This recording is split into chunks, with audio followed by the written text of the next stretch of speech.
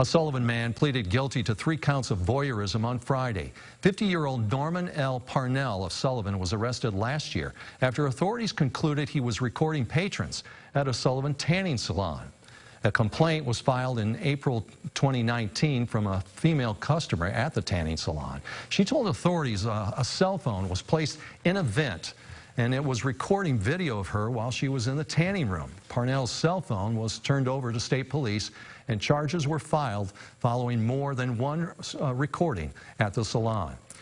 Friday, Parnell was sentenced to three years. One year and 90 days will be served in jail, and the last 90 days will be served on work release. In court, Parnell apologized to the victims for his actions.